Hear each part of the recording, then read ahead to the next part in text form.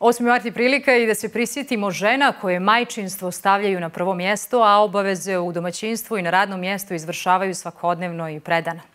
Njihov dan bi trebao da bude svaki dan. Primjeri iz Istočne Iliđe na radnom mjestu ekonomista u kući majka.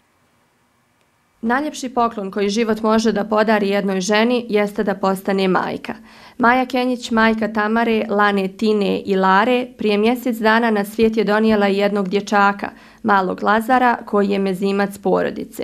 U ovim višečlanim porodicama se ne odgajaju prinčevi i princeze. To su djeca koja se bore da budu da nađu svoj trenutak, jest, i, i nekako vide od ovih starijih kako bi to u stvar trebalo da bude i onda jednostavno više se oni sami nauče nego što ih mi naučimo. Učeći jedni od drugih pomažu roditeljima, ali i postavljaju temelje trajne međusobne ljubavi koja će ih pratiti cijeli život.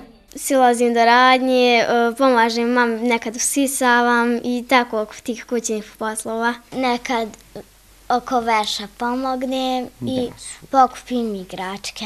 Kad joj treba krema, donesem joj kremu. Za lazu? Da. Bravo.